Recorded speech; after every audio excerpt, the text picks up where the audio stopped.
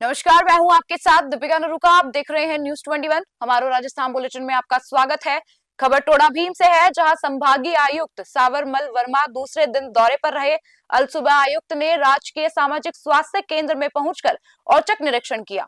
निरीक्षण के दौरान मिली अव्यवस्थाओं पर संभागीय आयुक्त ने नाराज़गी ज़ाहिर करते हुए सामाजिक स्वास्थ्य केंद्र प्रभारियों को फटकार लगाई तथा व्यवस्थाओं में सुधार के निर्देश दिए। निरीक्षण के दौरान अस्पताल के वार्डो में साफ़ सफ़ाई नहीं मिली।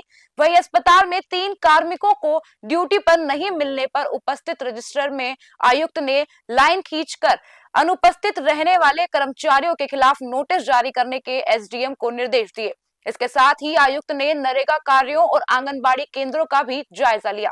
टोड़ा भीम से महेंद्र कुमार जोशी की रिपोर्ट। मैंने देखा है कि एक ही ओपीडी काउंटर था, उसके लिए मैंने निर्देश दिए वहाँ पर दो इनके डिप्लॉय कर रखे हैं।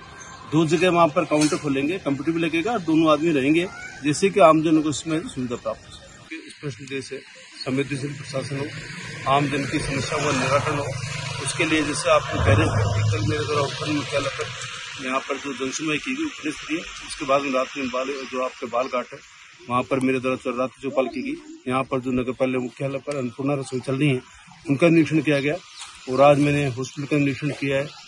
जो आपका आंगनबाड़ी केंद्र का निरीक्षण किया है, इसके अलावा महात्मा गांधी विद्यालय में जो मिड डे मील है, उसका भी निरीक्षण किया है। और चारा का जो अभी जो इसमें वृक्षारोपण चल रहा है, मनरेगा योजना उसका भी निरीक्षण कर रहे हैं। उसमें जो जो कमी मिली है, उसके लिए मैंने, जो एस डी मैडम मेरे साथ हैं, इनको निर्देश दिए कि जो उनको सुधारें। विशेष रूप जैसे हॉस्पिटल की बात करें तो साफ़ सफ़ाई उसमें पर्याप्त नहीं मिली। या जैसे मान लीजिए आपकी डीडीसी है, उसमें मरीज़ को दो जगह जाना पड़ रहा है, एक जगह उसको दवाई लेनी पड़ रही है, दूसरी इंजेक्टिव लेना चाहिए तो उनको ये कहा गया कि आप एक जगह रखिए जिससे मरीज़ को कोई परेशानी हो।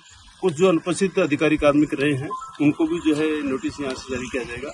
जहाँ तक मनरेगा की बात है, आप देख रहे हैं वृक्षापण माननीय मुख्यमंत्री महोदय का भी ये निर्देश है कि एक पेड़ माँ के नाम, उसके तहत इसी तरह का हम वृक्षारोपण कर रहे हैं, और मेरा आमजन से यही अपील है कि जो माननीय मुख्यमंत्री महोदय के भावना के लोग, प्रत्येक व्यक्ति कम से कम ये पेड़ लगाए, जिससे कि हरित राजस्थान के जो एक अपना थीम है, उसको आगे बढ़ा अब खबरें देखना हुआ और आसान बस करना है एक छोटा सा काम सब्सक्राइब करें न्यूज़ ट्वेंटी चैनल और बेल आइकन दबाएँ।